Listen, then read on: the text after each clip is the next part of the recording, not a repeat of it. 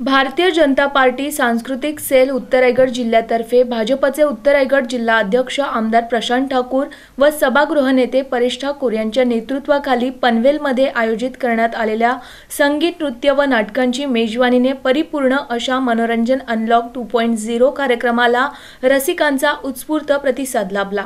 या कार्यक्रमाच्या अनुषंगाने रंगभूमी अनलॉक झाल्याने नागरिकांनी कार्यक्रमाचे स्वागत तसेच आयोजकांचे मनपूर्वक धन्यवाद मानले. कोरोना विषाणूमुळे उद्भवलेल्या संसर्गजन्य रोगाचा प्रबंध व नियंत्रण उपाय म्हणून पनवेल महानगरपालिका क्षेत्र तसेच संपूर्ण राज्यात खबरदारीचा उपाय म्हणून नाट्यगृह संपूर्णपणे बंद ठेवण्यात आले होते. परंतु नुकतेच काढलेल्या परिपत्रकामध्ये बावीस ऑक्टोबर दोन हजार एकवीसपासून नाट्यगृह सुरू करण्यात यावे असे जाहीर करण्यात आले. त्या पार्श्वभूमीवर आमदार प्रशांत ठाकूर व सभागृह नेते परेश ठाकूर यांच्या नेतृत्वाखाली भारतीय जनता पार्टी सांस्कृतिक सेल उत्तर रायगड जिल्ह्याच्या वतीने मनोरंजन अनलॉक टू पॉईंट झिरो संगीत नृत्य व नाटकांची मेजवानी हा कार्यक्रम आयोजित करण्यात आला होता.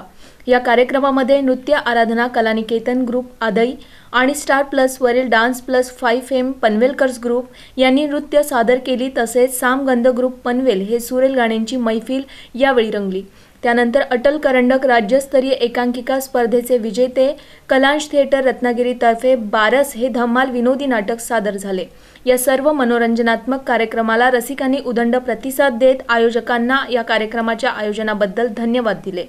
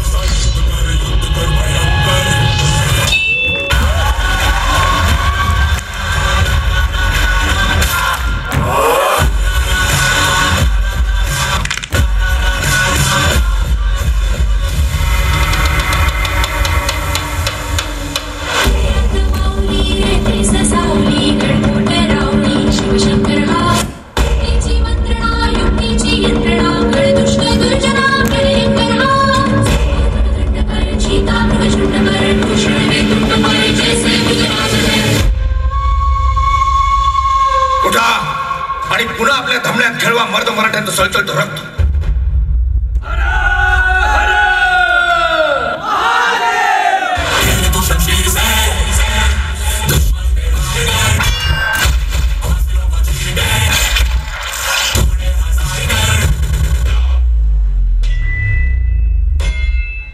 पनवेल शहरातील आद्य क्रांतीवीर वासुदेव बळवंत फडके नाट्यगृहात शुक्रवारी झालेल्या कार्यक्रमास प्रमुख मान्यवर म्हणून माजी खासदार लोकनेते रामशेठ ठाकूर भाजपचे उत्तर रायगड जिल्हा अध्यक्ष आमदार प्रशांत ठाकूर सांस्कृतिक सेलचे प्रदेश अध्यक्ष लातूर मनपाचे गटनेते शैलेश गोजमगुंडे सांस्कृतिक सेलचे प्रदेश सहसंयोजक उमेश घडसाथी प्रदेश सदस्य सुजित सिन्हा भाजपचे शहर अध्यक्ष जयंत पगडे पनवेल महानगरपालिकेचे सभागृह नेते परेश ठाकूर नगरसेवक अनिल भगत नगरसेविका दर्शना भोईर रुचिता लोंढे श्यामनाथ पुंडे सांस्कृतिक सेलचे जिल्हाध्यक्ष अभिषेक पटवर्धन भाजप शहर सरचिटणीस अमरीश मोकल चिन्मय समेळ सांस्कृतिक सेलचे शहर सहसंयोजक गणेश जगताप संजीव कुलकर्णी अमोल खेर यांच्यासह कार्यकर्ते उपस्थित होते.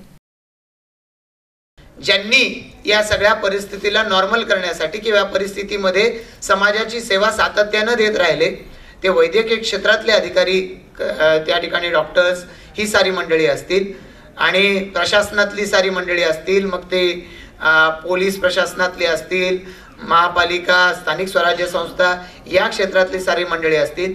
ज्यांनी ज्यांनी म्हणून स्वतःच्या जीविताची पर्वा न करता कारण गेल्या वर्षी तर आपण भयंकर दबावाखाली आणि भीतीच्या अनाहूत स- सावटाखाली होतो की नेमका रोग कसा होतो तो पसरतो कसा हे कळत नव्हतं. त्यावेळेला निर्भयपणानं लोकांमध्ये गेले लोकांची सेवा केली आणि त्याचा परिणामही काही वेळेला त्यांना स्वतःला भोगावा लागला त्यांच्या परिवाराला भोगावा लागला पण तरीसुद्धा ते आपल्या सर्वांना सेवा देत राहिले. त्या सर्व ज्यांनी ज्यांनी या कालावधीमध्ये आपल्याला सेवा दिली त्या सर्वांना मानाचा मुजरा करून हा या ठिकाणी शैलेशजी आपण भावना व्यक्त केली. अभिषेक आमचा सहकारी अतिशय उत्तमरित्या बोलला. त्या सर्वांच्या भावना या ठिकाणी आपणा सर्वांना निश्चितपणानं येणाऱ्या कालावधीमध्ये अधिक चांगलं काम करण्याच्या प्रेरणा देत राहतील. लोक पुण्याला सांस्कृतिक नगरी म्हणतात पण आता पुणं याच शब्दाला वाढवून असलेलं पनवेल खऱ्या अर्थाने सांस्कृतिक चळवळीचं ठाणं होत जातं की काय अशी स्थिती मला आपल्या सगळ्यांकडनं दिसते आणि ते तसं होत राहावं. असाच अभिषेक आपल्या या अनलॉकच्या निमित्ताने आपण घालावा. ज्याचं प्रशांतमय स्वरूप म्हणजे सागरमय स्वरूप आपल्या सगळ्यांच्या माध्यमातून उभं राहावं परेशजी. आणि ते अधिक व्यापक असतं. कारण समुद्र आमच्यापेक्षा तुमच्या जवळ आहे त्याची अफाटता आणि अगाधता आपल्या सगळ्यांना माहीत आहे. आणि तीच उंची इथले आमदारही आहेत आणि त्यांच्या नावात सुद्धा ते सागरमय मोठेपण लपलेलं आहे. हे मोठेपण आम्हा सगळ्या कलावंतांच्या पाठीशी सातत्याने कायमस्वरूपी असंच राहावं. पनवेल आणि नवी मुंबईच्या ताज्या घडामोडींसाठी मल्हार टीव्ही न्यूज सबस्क्राईब करा आणि बेल आयकॉन दाबून रहा अपडेट.